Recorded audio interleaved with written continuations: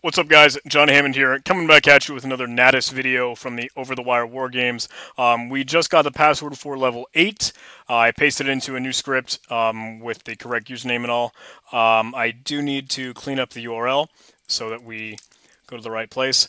And we don't need to view our regular expression attack anymore or search. We just want to see the uh, raw response to the web page. So let's see what we got here.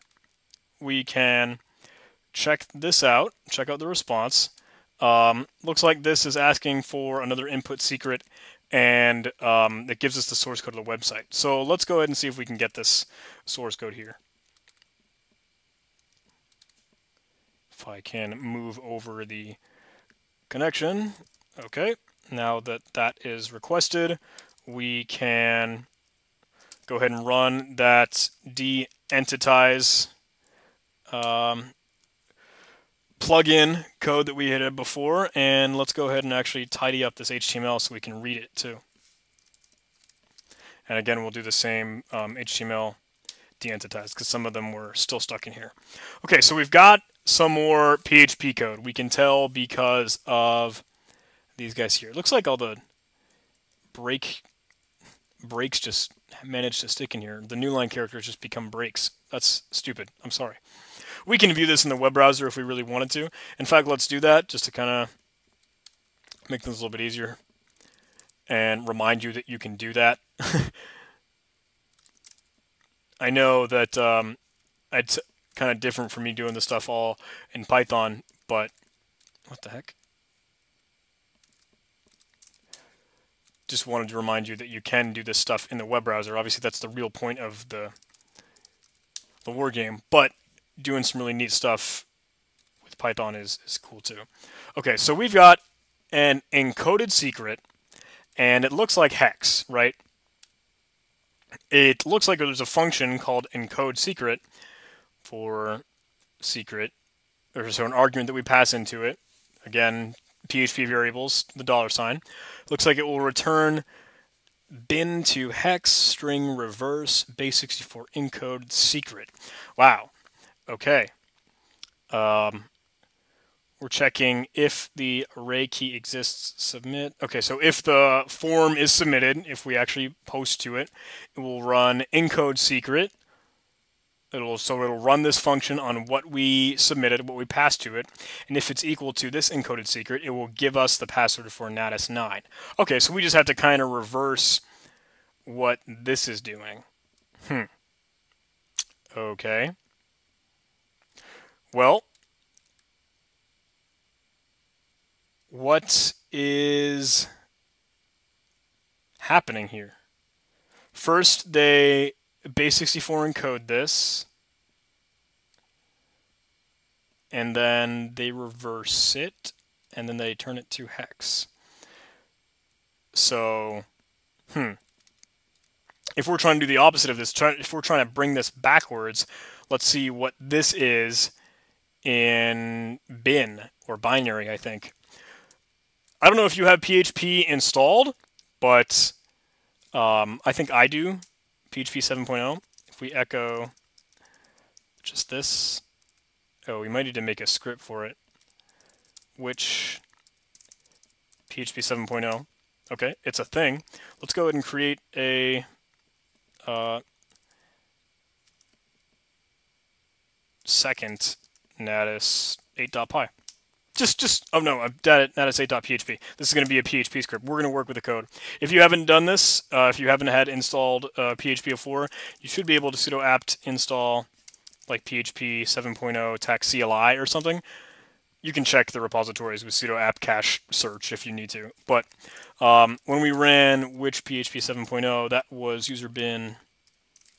So let's get our shebang line. User bin PHP 7.0. Set the syntax here to PHP for us. Okay, I guess our shebang line is just kind of going to look like that. Let's echo. Do I have anything in this PHP?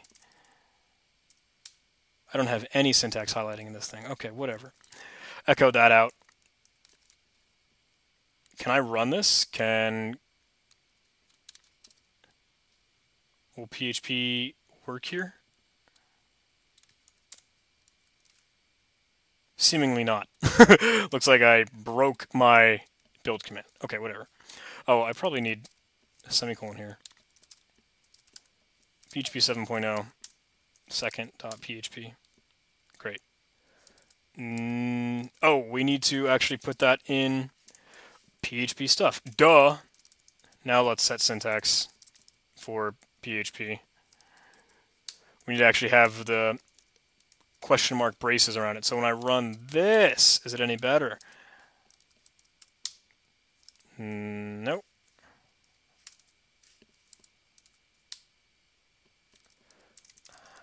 How about we make that executable? Let's remove the old Python script one.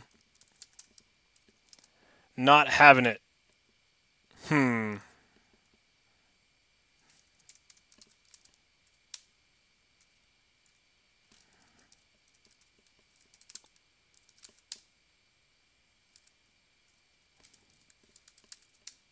Are you kidding me? Okay, so you have to denote it with the um, question mark PHP. I'm sorry, guys. That was probably pretty torturous. Didn't mean to. Didn't mean for you to have to watch all that. okay, the new line will stick in there if we run it just like that. Okay, so now we can run the opposite of these PHP functions. So bin to hex is a thing in PHP, and there is certainly a hex to bin function, I would think Yep, noted in the see also section here. Decodes a hexadecimally encoded binary string. So let's run that hex to bin on this thing. Now this looks like base64, except it's backwards. So they had ran strrev on this, right? We run this, okay, now it is base64 encoded, and we can do, what was the function called? Base64 encode. We can do base64 decode.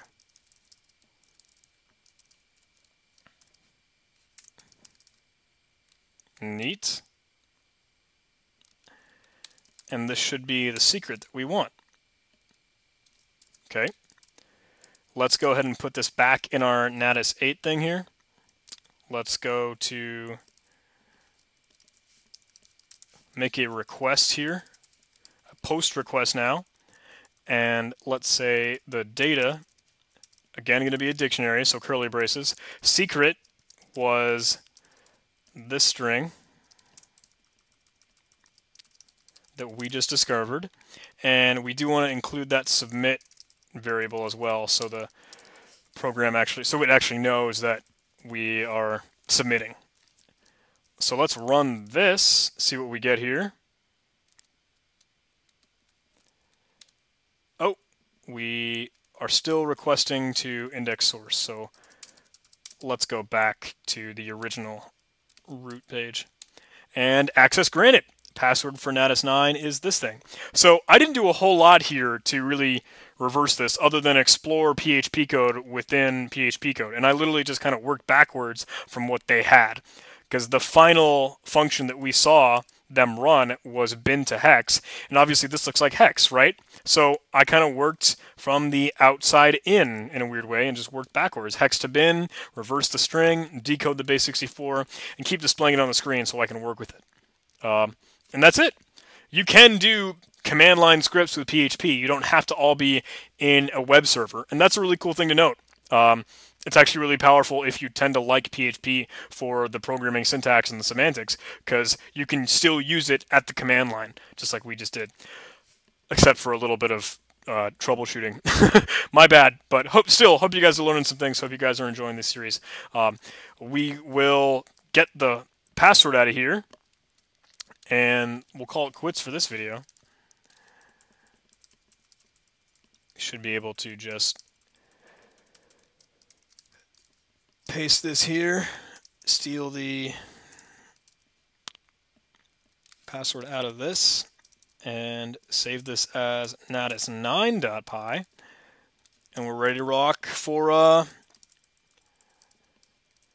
the next level. Let's keep moving. All right. See you guys in the next video.